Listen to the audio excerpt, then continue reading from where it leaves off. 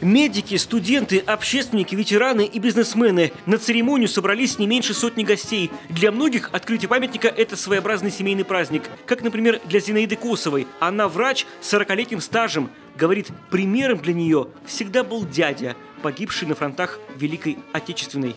Он был военный фельдшер, воевал с белофинами, имел 16 осколочных ранений и в первые дни Великой Отечественной войны пошел добровольцем в военкомат и был направлен воевать на Карельский фронт.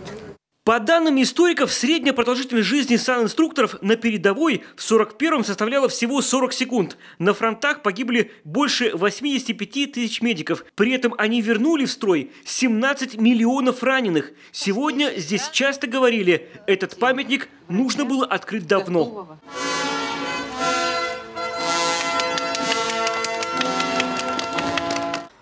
Идея монумента принадлежит региональному отделению Ассоциации медиков. Все работы курировал главный врач Республиканского госпиталя ветеранов Борис Захаров. Именно он в феврале этого года организовал сбор средств. Откликнулись и рядовые жители, и крупные организации.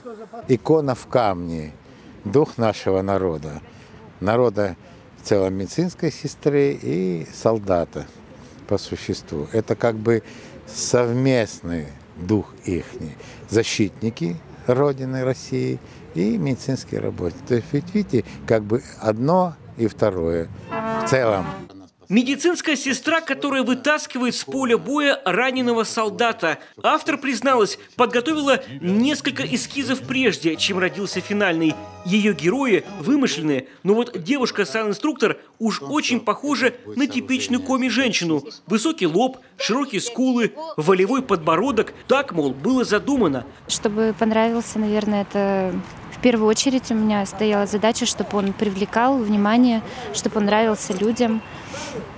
А, вот. Ну и чтобы люди его полюбили, потому что ну, для скульптора и для художника это очень важно.